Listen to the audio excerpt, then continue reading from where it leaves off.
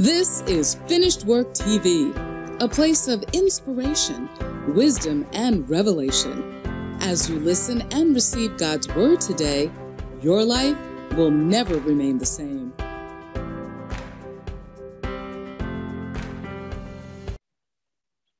And God wants you to understand the place where your purpose is connected.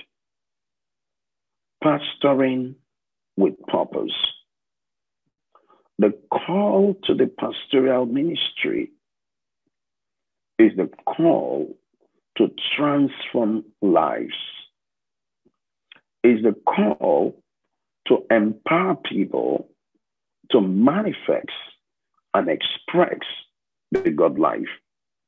It is a call to inspire people to manifest the will of God. The reality of that comes into manifestation when we understand purpose. There is a place, there are people, and there is a purpose.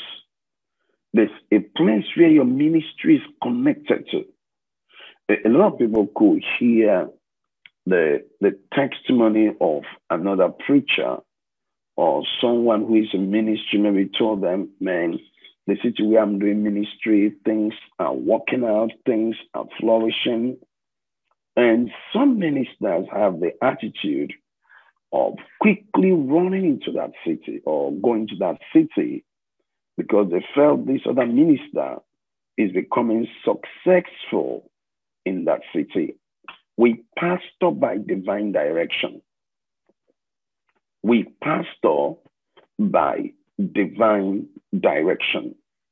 It is God who decides the direction that your ministry should be going. It is God who decides the people he is sending you to. It is wrong for you to send yourself to a place God haven't sent you to. It is wrong for you to commence a ministry, a ministry assignment in a neighborhood God never gave you a word for. And sometimes we come out unfruitful, our work come out very frustrating, it becomes challenging, and we may think that God is not with us. No, God is with us. It's just that we are not in the right place. So to pastor with purpose, we must also understand there is a location for that purpose. There is a location for God's purpose for your ministry. There is a location for God's purpose for your ministry, and understanding the location is important in the pursuit of the vision. Understanding the location. What is the location of his assignment? Let's look at Jonah as a case study. Uh, Jonah chapter you know, the word of the Lord came to Jonah the prophet, and uh, he, he decided to do what he wanted to do. And look at the scripture in Jonah chapter 1, verse 1. It said, The Lord gave a message to Jonah. The Lord gave a message to Jonah. He said, Get up and go to the great city of Nineveh. Announce my judgment against it because I have seen how wicked its people are. God was giving an assignment to Jonah. But Jonah got up and went in opposite direction. And this is where we have the problem sometimes in ministry. God is calling you to go to Michigan to pastor, or God is calling me to go to Lagos, Abuja, or Canada, or Australia. But there is a neighborhood I'm comfortable with. There is a place I am comfortable with. A place you're comfortable with may not be the place of your assignment. And also, the place you're comfortable with may be the place of your assignment, depending on what God is telling you or what the Spirit of God is revealing to you as a person. There is a place where your giftings, your anointing, your charisma will be fruitful. There is a place where your gifting, your anointing, your charisma will be fruitful. There is a place. There is a place where your gifting, your calling, your charisma will be fruitful. Now, the Lord gave a word to Jonah for Nineveh. I want you to go to the city of Nineveh. That is where your, your, your prophetic ministry is needed. This is where your prophetic assignment will be needed. When God gives you an instruction, He expects obedience as a reward of that instruction you have heard. When God gives you an instruction, He expects obedience as the reward of the instruction you have received. But we saw that Jonah couldn't follow up. One of the reasons for frustration in ministry, in business, in life, is when we neglect the will of God, when we despise the will of God, when we choose to do things our way. When we choose, I, I can decide to do things my way. I can decide to allow how I feel or the subjection of people to decide my vision or to decide my direction or allow my emotional situation to decide how I respond. The choice is mine. But the will of God is that I walk in obedience towards what He's revealing to me. What God is revealing to you is more important than how you feel, than what you think, than the opinion and the suggestion that people will bring your way. Here he said, Get up and go to the great city of Nineveh and announce my judgment against it. I'm reading from the NLT because I've seen the great wicked. I've seen how great, I'm sorry, I've seen how wicked its people are. But Jonah got up and went in opposite direction to get away from the Lord. And sometimes we can read this and say, you know, I've heard so many Christians say things like, don't carry Jonah in your boat or let Jonah not be in your life, you know, things like that. But the truth be told, some Christians behave like Jonah. They behave like Jonah. Why? Because God told them to do something, but they're going opposite direction. God asked them to stay connected to a ministry, to a person, to a place, but they want to do things their way. You see, the reason for Jonah's frustration, not because God is not a merciful God, but Jonah never expected God to say that. He thought God could have mentioned another city or another place, or maybe somewhere that would be more good for him, but not Nineveh. He never liked the place. He doesn't want to go to the place. He was not happy with the place. Sometimes in ministry, God sends us to a place that we don't like. You are not called to like, you're called to obey. You are not called to, you must like this person before you do what God asks you to do for them. Maybe God is asking you, go be a blessing to this person, go be an encouragement. Said, I don't like them. That is not what God is asking. He's not talking about you liking them or not. The most important thing is the instruction given to you.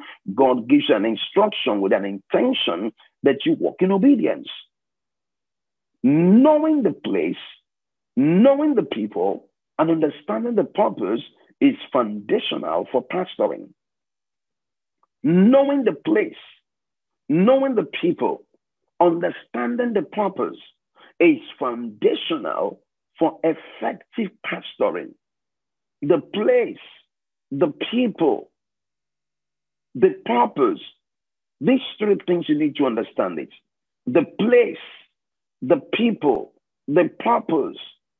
If you don't understand any of these, it will be difficult for you to carry out the will of God in a such a way that God will be glorified. Why? Because God wants me to understand what He has called me to do, what He has anointed me to do. He wants me to follow up, He wants me to stay committed to it. You know, uh, let me just give an illustration with my life. Several years ago, I, I stayed in the city of Port Harcourt in in River State, Nigeria. And in that city of Port Harcourt, I live in a neighborhood they call Diobu. And my parents raised me in that Diobu neighborhood. And uh, many years later, when I came into ministry, there's another neighborhood we call Town, another neighborhood we call Borokiri. And the Spirit of God begins to lead me to go to town to do ministry. Now, I, I don't know much people in town. I didn't grow up in town, but that is the place of the assignment. Now, because I never grew up in that neighborhood, I have this, I could have told God, I can go there. Our problem begins when we start making the decision instead of being led by the Spirit. When we start making the decision by ourselves, we don't want to be led by the Spirit of God. You, you, I don't like this place. I don't like this neighborhood. That is not what God is asking you. God's purpose for your ministry can only come to pass when you choose to be in the place of obedience. God's purpose for your ministry will only come to pass when you choose to be in the place of obedience. The place of obedience is the place of strength. So I just listened to what God was telling me. And I followed that instruction and came to that town. I had no money. I had no people. The only thing I had was the word of God. There was no money, there was no people. But God said, Go there. Your assignment can only be fruitful when the assignment came from God. If God leads you into it, God will help you with it. If God leads you into it, there are a lot of people doing something that God never led them into it.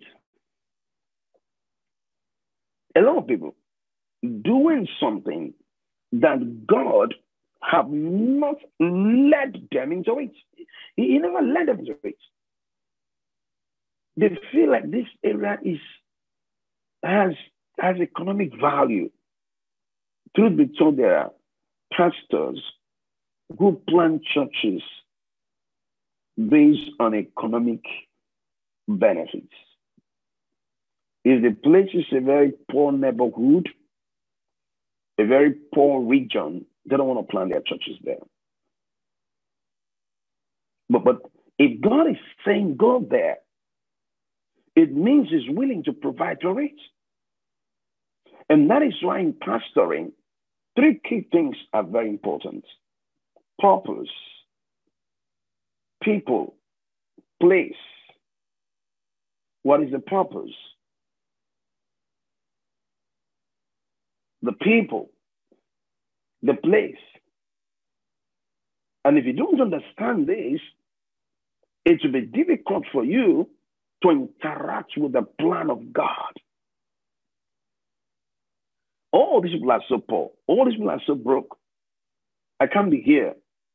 It's a broke neighborhood. The people are poor people. They don't have the resources. No. If God said to you, go to that poor neighborhood and do ministry, it means He's willing to help you with the bills, with the needs, with the challenges to do the ministry. But Jonah never saw the picture. All Jonah was seeing was himself. He wasn't seeing the picture of God. All Jonah was seeing that I can't do this. I can't handle this. I'm not willing to do this. That's all Jonah is saying. And that is what happens most times to people. God tells them, support this person. Pray for this person. Stay connected to this person. Stay connected to this ministry. Go push this person. Encourage this person. And sometimes God tells us those things. And then the people have an attitude. And they say, why, why will you tell me to encourage this man or encourage this woman? Look at our attitude. God is not telling you to look at the attitude. God is telling you to focus on what He asks you to do. And sometimes difficult people are in your life to bring out the best of God in you if you will listen to the Holy Spirit. Sometimes difficult people are in your life. In your life to bring out the best in you. You, you cannot say you're a patient person until what will require you to show it comes. What will require you to show patience haven't come? And then you say you're a patient person. How? How? Hmm?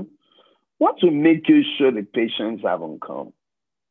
You say, Oh, I'm a very kind person. What will prove your kindness hasn't come?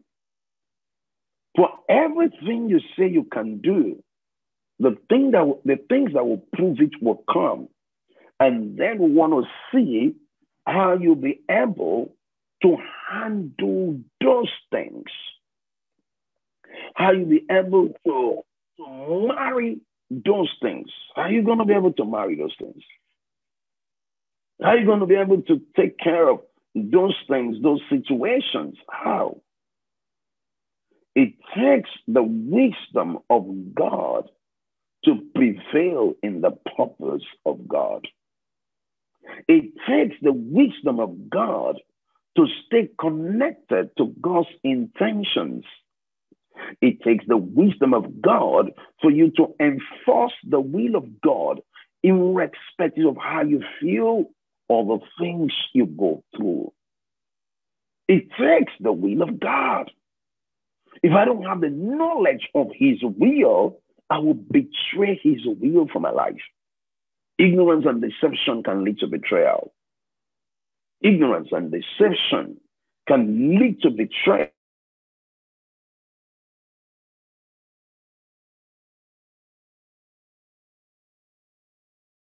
Why am I saying this? Because a lot of people, well, with the assignment would have done lives, but ignorance affected them.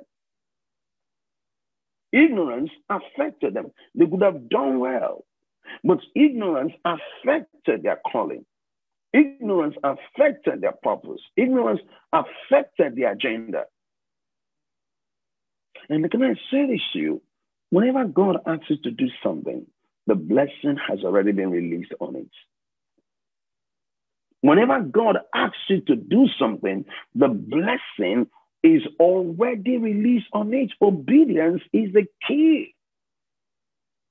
Obedience. You know, when the Lord spoke to me to do this meeting for these 120 days, someone told me that, Apostle, what are you trying to do? This is not fun. How are you going to do this? But when God gives you an instruction, what he expects is obedience? And then He will help you.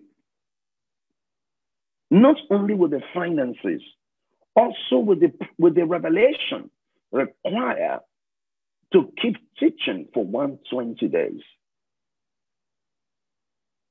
Because you need revelation. You need inspiration from the Spirit. You need understanding. You need the wisdom of God to be in place to enable you impact people Then whenever you come, you're bringing direction to people. In obedience, we experience provision. In obedience, we experience protection. In obedience, we experience divine assistance. So look at what Jonah did. The Bible said here, remember we're talking about pastoring with purpose, and we're looking at purpose, we're looking at people, we're looking at place. And our case study is Jonah. And in Jonah chapter 1, verse 3, it said, But Jonah got up and went in opposite direction to get away from the Lord. He went down to the port of Joppa, where he found a ship leaving for Tarshish. He bought, he bought a ticket and went on board. Now listen. This is God's money. This, this, this God provided for Jonah. But Jonah was using God's money for what is not God's purpose. Hallelujah. Jonah decided to pay his way to a different direction. But, but that was not the will of God. The will of God is Nineveh. The will of God was to go to Nineveh.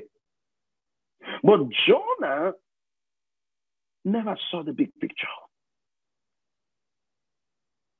Your reward will be found in the place of obedience. Your reward will be found in the place of obedience. Your reward will be found in the place of obedience. The place of obedience is where you unlock supernatural reward. God told you, stay there. Come on, you stay there. Don't bother about what people say, gossip you, make a mockery of you.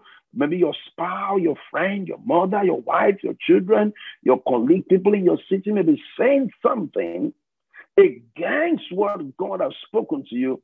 Don't give up on God's plan for your life. I'm a living witness that if you follow God, He's going to help you. If you stay with God, He's going to come true for you. Understanding the place of your purpose is the key to releasing your potential. Understanding the place of your purpose is the key to releasing your potential. Understanding the place of your purpose to understand the place of your purpose, you need to be able to stay connected to what God is saying. You stay connected to what God is saying. You can't release your purpose. You can't release your potential outside your purpose and expect to be rewarded for it. You can only release your potential within your purpose, then you can expect reward. That's how it works in ministry. That God told you something, you stay with it. If you're not, your gifting will flourish in the neighborhood of your purpose. Your gifting will flourish in the neighborhood of your purpose. Your gifting will flourish in the neighborhood of the purpose. That's where your gifting will flourish. That's where you, you begin to impact your world. You begin to change your world. You begin to transform lives. You start impacting lives. You start giving meaning to life. You start giving direction to life. And God is calling us to a place of purpose. And the discovery of your purpose is the starting point of the release of your greatness.